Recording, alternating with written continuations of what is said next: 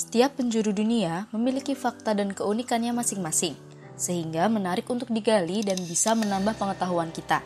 Mari kita simak video berikut ini yang berisi beberapa fakta dan keunikan yang ada di seluruh dunia. Namun jangan lupa untuk like, komen, dan subscribe channel ini agar tidak ketinggalan info menarik lainnya, serta share video ini pada orang-orang terdekat kalian.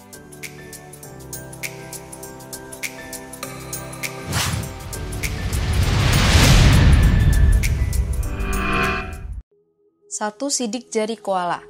Koala merupakan salah satu binatang yang memiliki kantung khas dari benua Australia. Selain itu, koala juga memiliki sidik jari yang sama persis dengan manusia, sehingga sulit untuk membedakannya.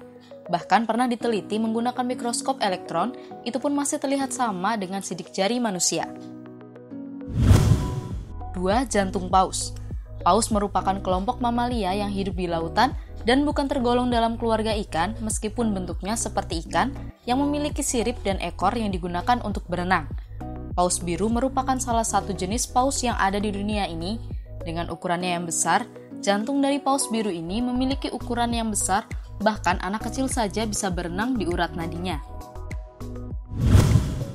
3. Wilayah Rusia Rusia adalah sebuah negara berdaulat yang wilayahnya membentang dengan luas dari sebelah timur Eropa hingga utara Asia. Rusia merupakan negara yang memiliki luas wilayah paling luas di dunia, yaitu 17.125.200 km persegi. Namun, tahukah Anda, luas dari negara Rusia itu lebih besar dari permukaan Pluto, yaitu 16.575.924 km persegi. 4. Madu Madu merupakan cairan yang dihasilkan oleh lebah dan serangga lainnya dari nektar bunga. Tekstur dari madu itu kental seperti sirup dan memiliki rasa yang manis. Keunikan dari madu ini, selain bisa meningkatkan kekebalan tubuh, madu itu tidak akan pernah basi sampai kapan pun, asalkan itu madu murni yang tidak dicampur dengan apa pun. 5. Cacing tanah Cacing tanah merupakan binatang yang hidup di bawah tanah dan bisa membuat tanah itu menjadi subur sehingga mudah untuk ditanami tanaman sehingga sangat menguntungkan para petani. Namun tahukah Anda, cacing tanah ini yang sering dianggap menggelikan oleh sebagian orang ternyata memiliki lima buah jantung yang digunakan untuk memompa darah ke seluruh tubuhnya. 6. Burung kolibri Burung ini adalah burung yang berasal dari famili Trochilidae vigors dan merupakan burung terkecil di dunia yang memiliki berat rata-rata 6 gram serta panjangnya rata-rata 6,35 cm. Burung kolibri ini merupakan penerbang yang ulung karena gerakan sayapnya yang sangat cepat. Satu detiknya bisa mencapai 12-80 kali kepakan sayap. Yang unik dari burung ini, selain dari ukurannya, ternyata burung kolibri merupakan satu-satunya burung yang bisa terbang mundur.